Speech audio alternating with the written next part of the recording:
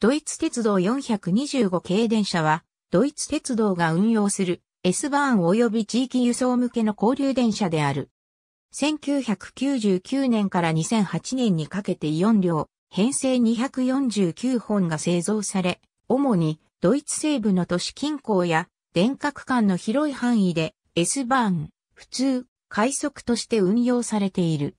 編成は423型、424型と同じく連接構造の4両編成で派生系列として連接2両編成の426型も製造されている。本校では派生系列の426型も合わせて解説する。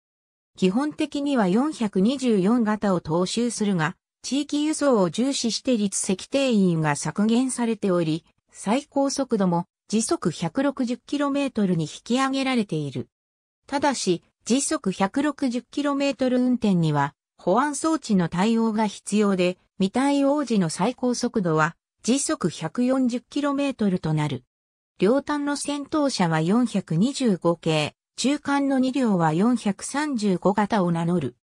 車両番号は第1編成の場合で見ると、1両目から425-001から435-001から435-501から425-501となる。3両目と4両目には500が加算される。また、編成番号は001から156、201から240、250から269、271から283、301から320のように飛び飛びになっている。S バーンでは2003年開業のラインレッカー S バーンに投入されたほか、ハノーファー S バーンでも増備用として、また、マグデブルクのミッテルエルベースバーンでも従来の電気、機関車、客車のプッシュプル列車の置き換え用として導入された。構え体はアルミニウム材料の押し出し成形断面の溶接で連結されている。外部表面をできるだけすべすべしく、隆起のところなしに干するために、窓ガラス、フレーム及び構え体が互いに簡潔に接着されている。この表面の影で空気の流動は改善され、表面の自動掃除が可能である。窓ガラスは二重構造の断熱材で製造されている。編成車両は長さにとって420型と似て67.5メートルだが、4つの車両と構成され、客車の間に通行と通しが可能であるのは違うことである。客車の間の通路を確保するために連結部のもとに連接台車が装着されている。それで構え体の距離は互いに最小化している。一面あたり8つの自動扉は速い乗り下車を可能にする。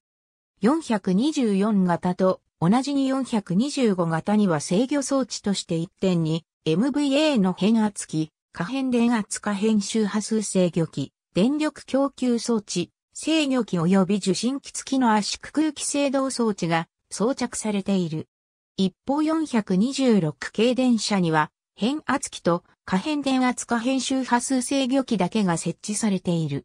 可変電圧可変周波数制御機で2つの外側連接台車と単台車にある主電動機による電動機走行は回生ブレーキの機能とともに実現されている。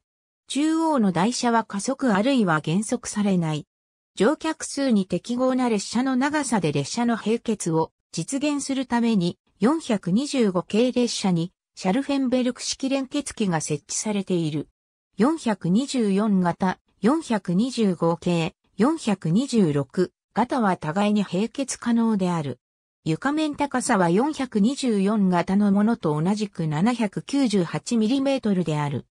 425系電車は様々な乗降上高さに対応できて、編成あたり4つの車椅子用踏み板が備え受けされている。両先頭車では運転室の後で1等席が12席配置されている。2等席は1等席と色で区別されて2プラス2列に配置されている。利用客は425型と426系の設備を絶えず批判して長い旅の場合肘掛けなしのとても硬い座席が指摘されている。